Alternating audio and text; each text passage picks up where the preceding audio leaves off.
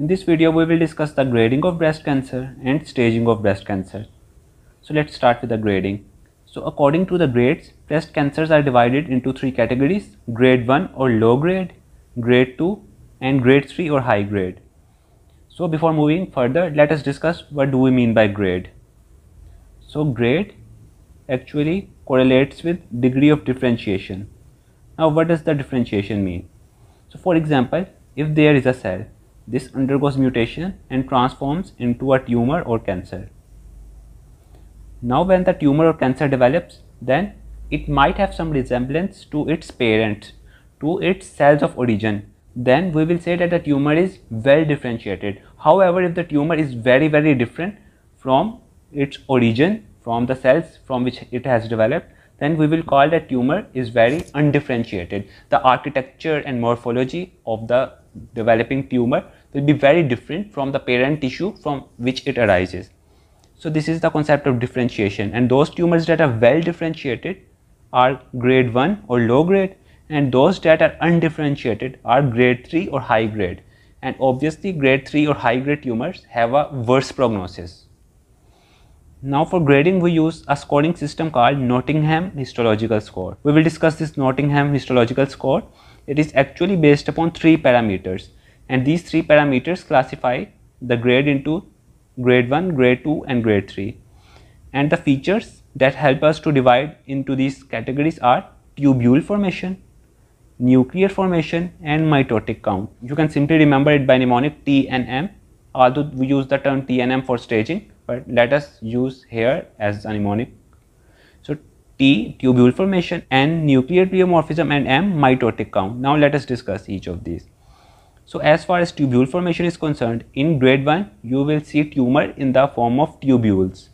In grade 2, when the tumor loses its differentiation, there will be only some tubules. And in grade 3 where the tumor completely loses differentiation, there will be no tubules and just nests and sheets of cells. Secondly, as far as nuclear pleomorphism is concerned, in grade 1, there will be no pleomorphism. Pleomorphism means variety in the structure and shape. So in grade 1, which are very well differentiated tumors, there will be no variety of the shape or of the architecture. So all almost all of the cells will have small round nuclei.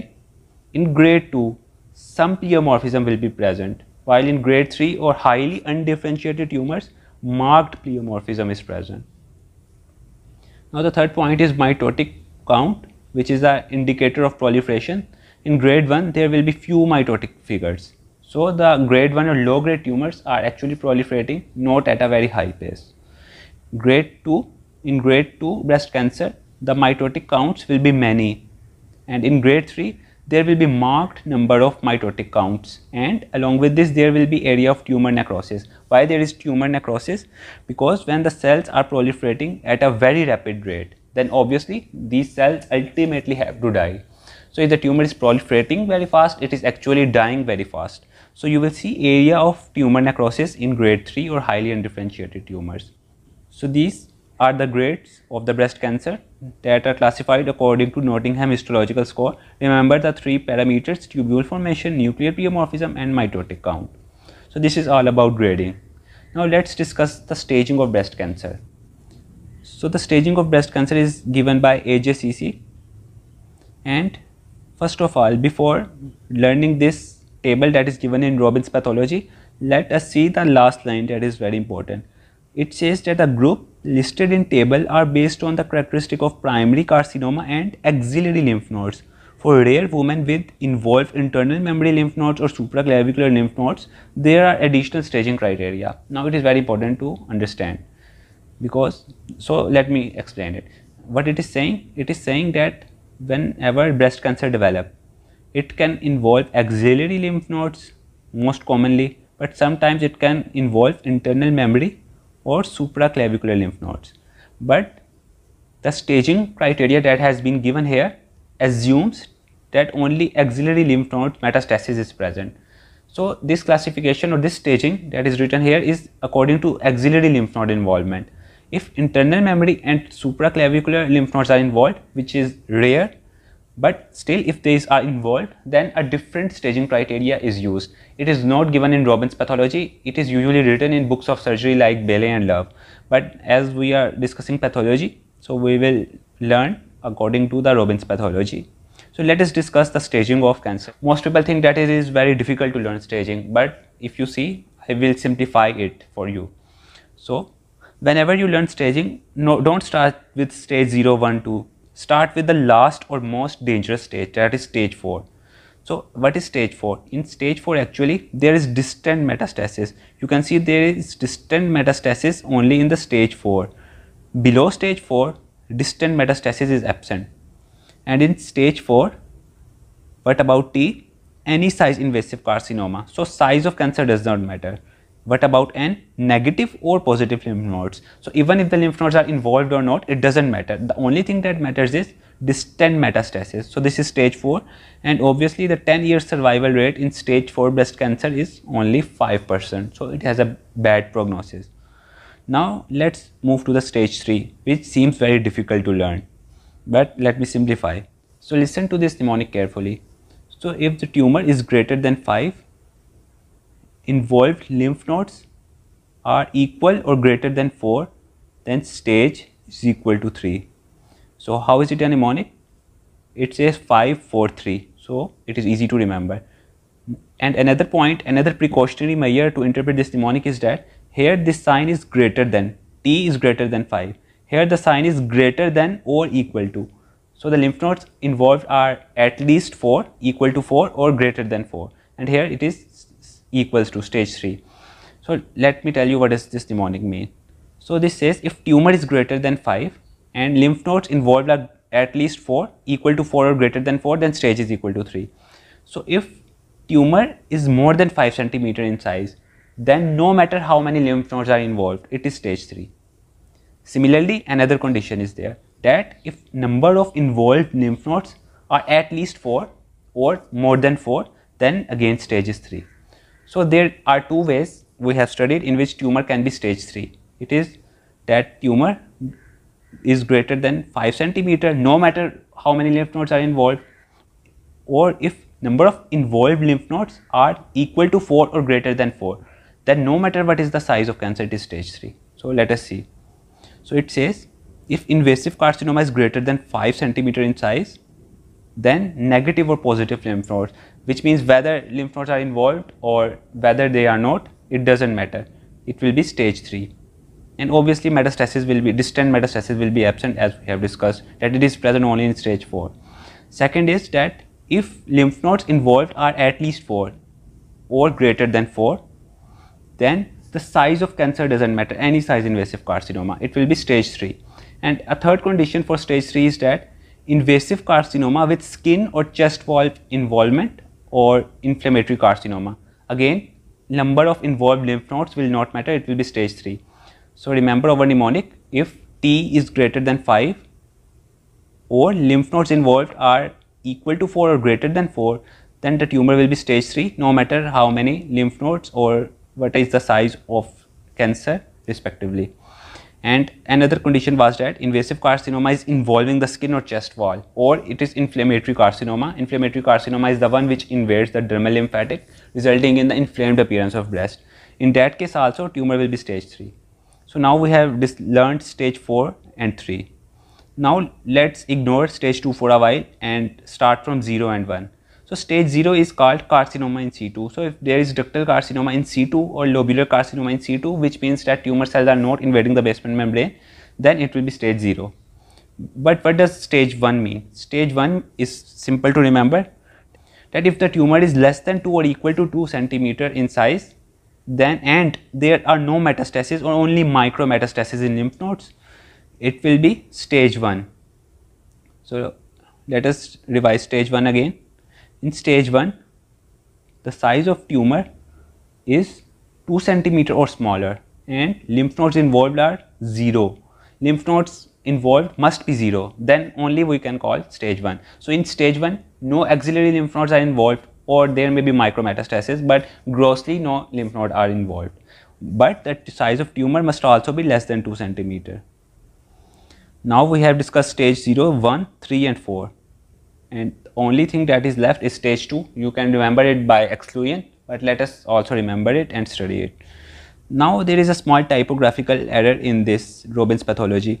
They say that if invasive carcinoma is greater than 2 centimeter or if invasive carcinoma is greater than 5 centimeter but equal to or less than 5 centimeter. So let us correct it first.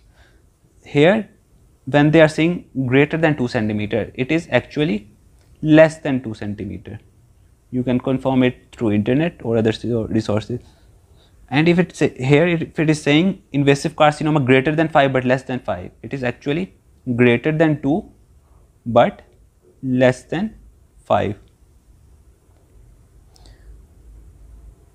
less than or equal to 5 now let us discuss now. So if tumor is less than 2 we studied that if tumor was less than 2 or equal to 2 but no metastasis to lymph nodes were present it was stage 1 but if the size is less than 2 but at least one lymph node but no more than 3 lymph nodes are involved it is stage 2 let me let me rephrase it again.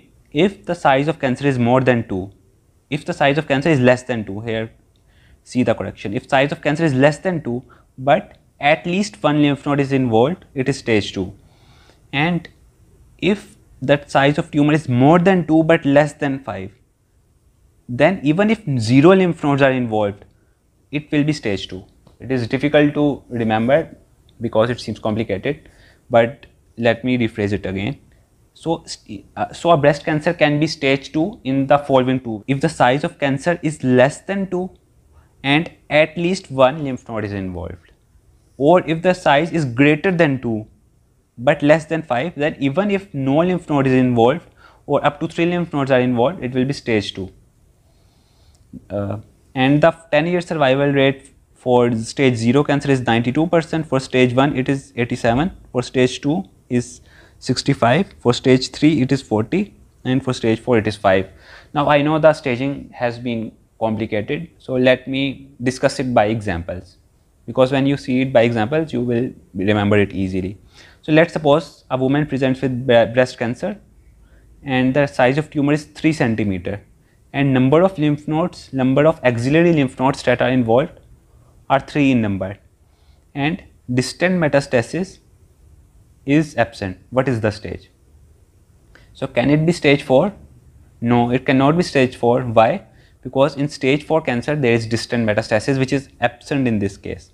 Can it be stage 3? Now let's remember of over mnemonic. Over mnemonic was that if tumor is greater than 5 or if number of lymph nodes are greater or equal to 4 then stage is equal to 3. So does it satisfy any of the condition? Tumor is 3 centimeter. In stage 3 tumor should be greater than 5 centimeter. Lymph nodes are involved lymph, number of lymph nodes involved is 3 in stage 3 lymph nodes must be at least 4 in order to be class in order to classify it in breast cancer. Remember only one of these conditions need to be satisfied but here none of the condition is being satisfied. So it is not stage 3 so it is not stage 4 it is not stage 3 let now let's see whether it is stage 1 or not. In stage 1 the size of tumor is less than 2 centimeter but here it is 3 centimeter. So obviously it is stage 2 now let us justify it. The size of tumor was 3 centimeter, lymph nodes involved are 3. So you can see if the size of tumor is greater than 2 but less than 5 which applies to our patient because in her the size of tumor is 3 centimeter. And if lymph nodes involved are 0 to 3 and in our patient it was 3 lymph nodes involved. So it was stage 2. Now let's discuss another example. So if a patient presents with breast cancer, its size of tumor is 5 centimeter or make it 6 centimeter. Number of involved lymph nodes are only 2 and distant metastasis is absent. What is the stage? Can it be stage 4? Obviously no.